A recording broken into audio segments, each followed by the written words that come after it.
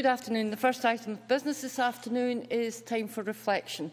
Our time for reflection leaders today are Lauren Galloway and Brandon Lowe, pupils of Ogmuti High School, Glenrothes. Good afternoon, ladies and gentlemen. My name is Brandon and this is Lauren. We are students from a community High School in Fife. In September, we participated in the Holocaust Educational Trust's Lessons from Auschwitz project with 200 Scottish students. We were honoured to meet survivor Ziggy Shipper, the most inspiring man I have ever met.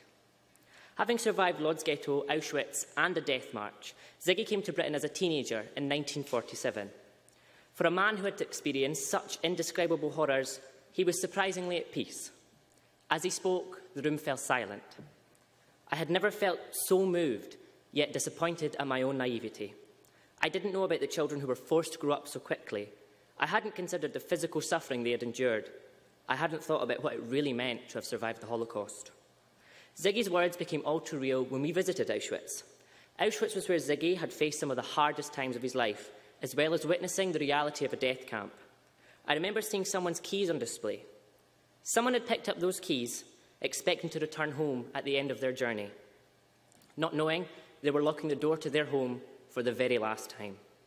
They didn't know they were headed to their death. This was the most upsetting realization I had during the entire experience. I remembered Ziggy's words we cannot forget. How do you make sense of what happened when you're standing at Auschwitz, seeing a heartbreaking display of baby clothes? We were able to leave Auschwitz that day, we would make the return journey that 1.1 million people could not.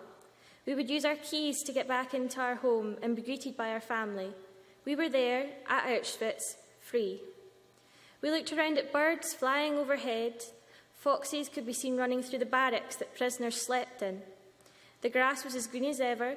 Life did not stop because of the Holocaust. We decided then that we wanted this experience to mean something. The theme of Holocaust Memorial Day 2016 is Don't Stand By. I will not stand by as the Holocaust is forgotten. I will not stand by as people forget the anti-Semitism, intolerance and prejudice that led people like Ziggy to be sent places like Auschwitz. And I will not stand by and allow that hatred to repeat itself. I encourage people around Scotland to join me in pledging to do the same. Thank you.